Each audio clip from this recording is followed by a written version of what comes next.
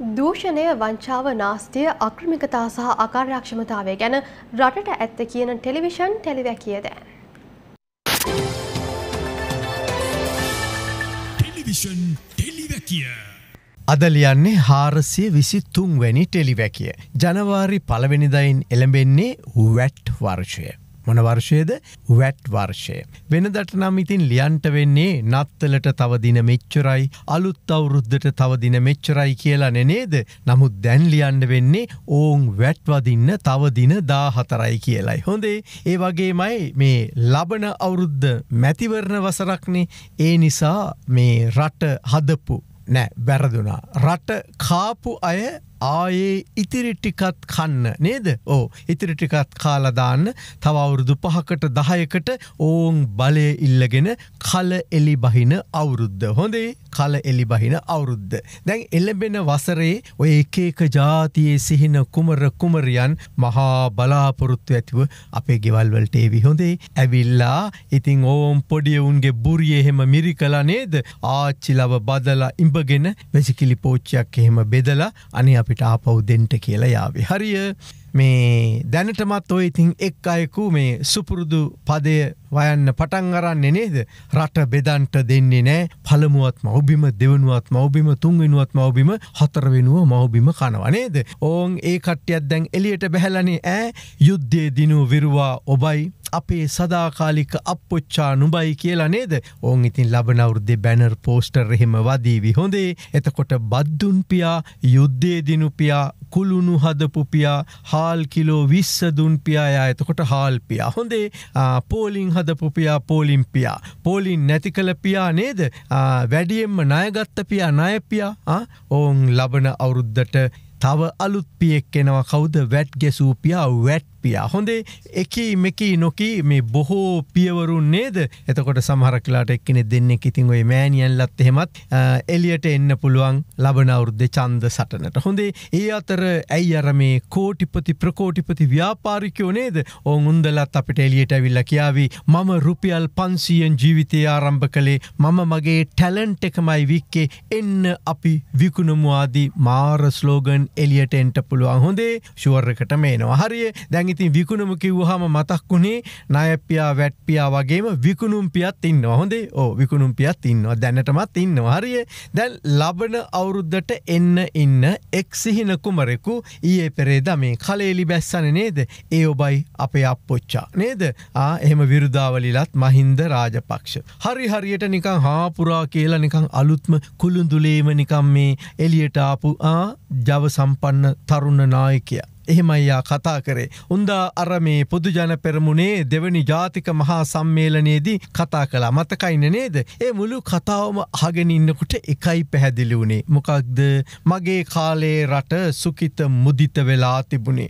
ධනධාන්‍යයෙන් පිරුණු සුන්දර යුගයක් තිබුණේ. දුප්පත්කම පේනතෙක් මානයක තිබුණේ නෑ මගේ කාලේ. නමුත් අවාසනාවකට වෙනසක්කිල්ලා ජනතාව රනිල් මෛත්‍රී ප්‍රමුඛ රජයේ බලයට ගෙනල්ල රට කෑව කියලා නේද. එහෙම තමයි මුළු කතාවෙම සාරාංශය. අහල බලන්ටකෝ. දෙදස් අයේ දෙදස් නමේ අවුරුදුවල යුද්ධයක් තියාගෙනත් අපි රටේ ආර්ථික වර්ධන වේගිය සියයට හයක තියාගත්තා. මේ වර්ධනය දෙදස් දාහතර වෙනකොට සියයට හයක් දසම අටක් දක්වා ඉහලට ගේන්න අපට හැකියාව ලැබුණා. සංවර්ධනයක් කියලා නාමයක් නැති මුඩුබිමක් සංවර්ධන මාවතර ගන්න අපි එදා දෙදස් පයිනම් විශාල පරිශ්‍රමයක් ගත්තා. මේ වෙලාවේ තමයි දෙදස් පාලුවේදි රටේ ඇතැම් පිරිසකට වෙනසක් ඕන වනේ. දෙදස් පාලුවේ දෙදස් දානමය කාලි තමයි මේ රටට ඔරොත්තු නොදෙන තරම් විදේශනාය විශාල ප්‍රමාණයක් ගත්ත කියලා මම මතක් කරනවා. ඉතින් වැඩියෙන්ම ණයගත්තේ රනිල් මෛත්‍රී කියලන මේ කියන්නේ නේද එකන කියන්නේ ඉතින් දැනුත් ඒකනෙ කරන්නේ. අදත් ඒකනෙ කරන්නේ. දැනු ජනපති රනිල්ට සහය දෙන්නේ තමුන්ලගේ පක්ෂයමනි. ආයේ වෙනසකට තියෙන්නේ දැන් රනිල් වික්‍රමසිංහ ණයගන්නේ රාජපක්ෂලත් එක්ක එකටම එකට එකතු වෙලා නේද. එච්චරයි වෙනස.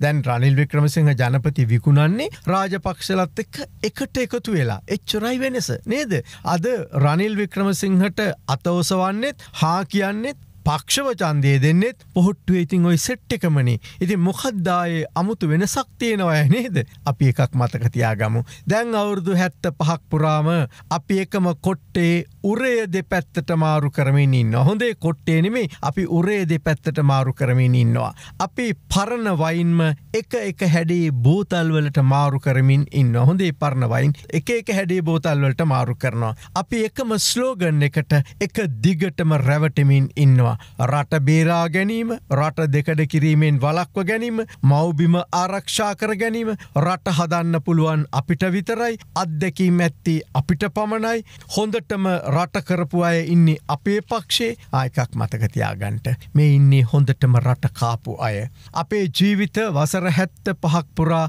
හිංගමනට ඇදලා දාලා සුර සැපවිදින සෙට් එකක් මේ ඉන්නේ. පාපැදියක්වත් නැතුව ඉඳලා අද වන විට පිටරටවල නිවාස ඇපල් වතු අරගත්ත සෙට් එක මේ ඉන්නේ. හොඳේ අහුනා ඇති රැවටුනා ඇති පන්නන්න කාලය හරි ඔවු පන්නන්න කාලය හරි. ලබන වසර හොරු අල්ලන හොරු කුදලන හොරු පන්නන හොරාගත්ත ධනය යළි එකතු කරන යළි අපේ කරගන්න අවුරුද්දක් කරගත යුතුමයි. හොඳේ ගරු අධිකරණය දුන් තීන්දුව අමතක කරන්ට එපා. ඒ මේ රට ආර්ථික ප්‍රපාතයට ඇදලදාපු ගාතකින් සෙට් එක. හොඳේ නම් ගම් එක්කම ගරු අධිකරණය අපිට කිව්ව. ඔවු රාජපක්ෂලගේ නම එතන තියෙන්නේ ඉහලින්මයි. හොඳේ රාජපක්ෂල ප්‍රමුඛ ආර්ථික ගාතකින් කෞද කියලා අධිකරණය අද රටටම කියලා ඉවරයි. අමතක කරන්ට පයක.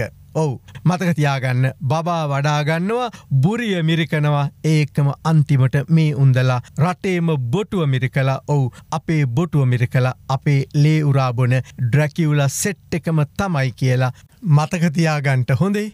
දැන් කොහොමත් මේ ටෙලිවැකි ඉවර කරන්න අර මේ පොහොට්ටුවේ රැස්වීමේදී බැසිල් රාජපක්ෂ කියපු වාක්‍ය කීපයක් හරි වැදගත්නේ දැන් ඔහු මේ කීප එක හන්ටකෝ පාරිදුවන බල්ලෙක්ට පිටිපස්සෙන් ගලක් ගැව්වොත් බල්ලා බුරලා තව හයියෙන් දුවනවා.